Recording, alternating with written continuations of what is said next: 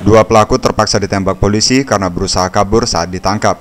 Pelaku otak perampokan sekaligus pemerkosaan masih dalam pengajaran polisi. Perburuan lima dari enam pelaku perampokan sekaligus pemerkosaan terhadap dua ibu rumah tangga. Masing-masing berinisial SM 21 tahun dan NR 40 tahun, warga desa Cendimani, Kecamatan Skotong, Kabupaten Lombok Barat, berhasil ditangkap oleh Satuan Reskrim Polres Lombok Barat. Kelima pelaku masing-masing berinisial LD, MI, F, MY, serta NY. Tertembak di bagian kaki karena kabur saat ditangkap petugas. Salah seorang pelaku MY mengaku ia terpaksa memperkosa korban karena disuruh oleh pelaku AZ yang masih buron. Pas waktu ngerampok terus memperkosa memperkosa itu memang ada niatnya dulu. Apa Eh, kenapa? Kenapa? memperkosa? Memperkosa korban itu. karena dipaksa Siapa yang paksa? Siapa yang paksa? Azhar Azhar. Ya. Siapa yang mulai duluan memperkosa?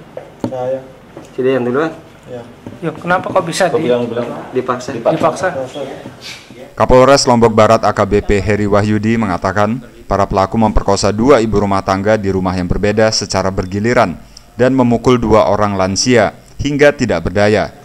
Nah, tersangka F atau E ini sempat eh, memukul eh, seorang kakek-kakek dan nenek-nenek. Jadi kakek-kakek dan nenek-nenek dipukul, kemudian disuruh keluar, kemudian dikurung dengan kurungan ayam.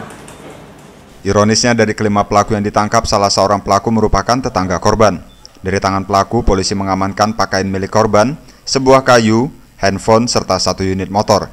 Atas perbuatan para pelaku, mereka diancam dengan pasal 365 dan 285 tentang perampokan dan pemerkosaan, dengan ancaman hukuman lebih dari 12 tahun penjara. Dari Mataram, Nusa Tenggara Barat, Ahmad Awal melaporkan.